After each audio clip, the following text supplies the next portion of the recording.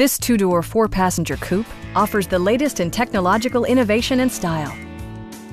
BMW made sure to keep road handling and sportiness at the top of its priority list. It features an automatic transmission, rear-wheel drive, and a 3-liter six-cylinder engine. A turbocharger is also included as an economical means of increasing performance. All of the premium features expected of a BMW are offered, including a power seat, automatic dimming door mirrors, and a split folding rear seat. With high-intensity discharge headlights illuminating your path, you'll always appreciate maximum visibility.